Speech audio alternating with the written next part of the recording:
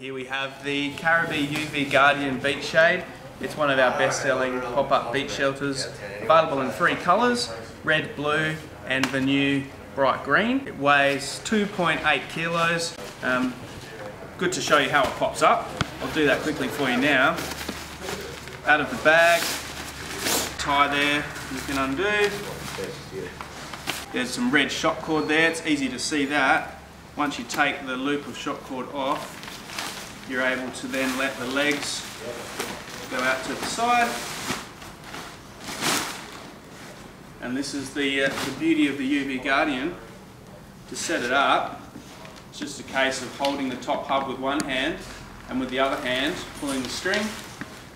You wrap it around your hand, pull it into place. Voila, there it is. Uh, some frequently asked questions, how high is it? It's 1.4. Four sand pegs, like so. And that those sand pegs will fix the corners. Pockets on the side. So while you're on the beach, you could be scooping, scooping sand into these pockets. A few handfuls of sand are going to hold that down nice and sturdy. It's, it's as robust as a beach shelter can be. Um, side winds will, will push on the side a little bit. So if you wanted to add some guy ropes, just a guy line around that pole and down to the ground with a sandbag or an extra sand peg would be ideal.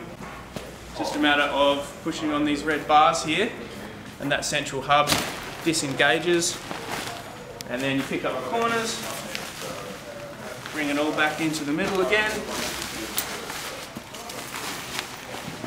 and that red shock cord, you just wrap that around each of the legs, squeeze a bit of the trapped air out, little tie,